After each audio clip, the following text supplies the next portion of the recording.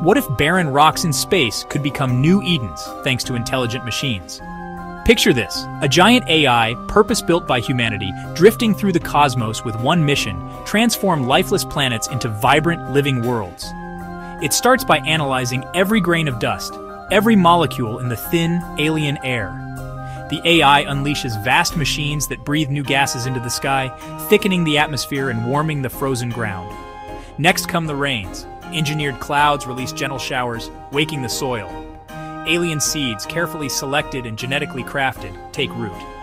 In time, forests of strange, wondrous flora rise, and rivers carve paths through landscapes that were once utterly dead. Fauna follows, creatures designed to thrive in this new world, all orchestrated by the AI's cosmic blueprint.